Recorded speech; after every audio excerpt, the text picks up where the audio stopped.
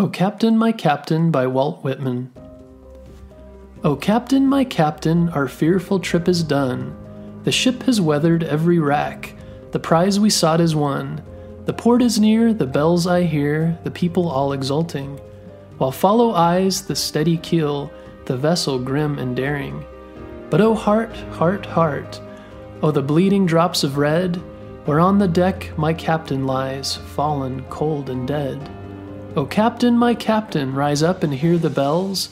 Rise up, for you the flag is flung, for you the bugle trills. For you bouquets and ribboned wreaths, for you the shores a crowding.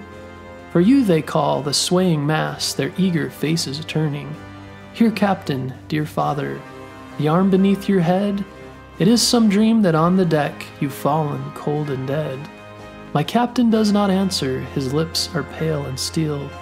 My father does not feel my arm, he has no pulse nor will.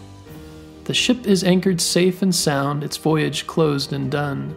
From fearful trip, the victor's ship comes in with object won.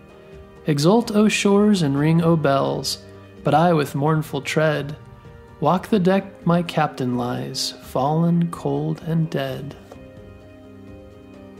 O Captain, My Captain was composed in 1865 by Walt Whitman after the assassination of Abraham Lincoln. It is a poem of mourning and written to honor former President Lincoln. Walt Whitman lived during the American Civil War, so it was a central event in his life. This poem became one of Whitman's most famous poems, born out of love he had for Abraham Lincoln. It was included in his book of poems called Leaves of Grass in 1867.